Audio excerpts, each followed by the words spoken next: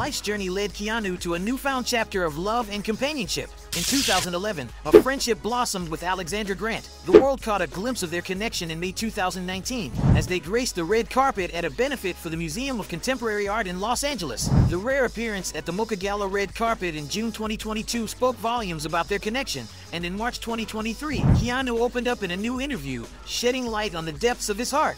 In the ebb and flow of life, Keanu Reeves' journey reminds us the sun sets on each chapter,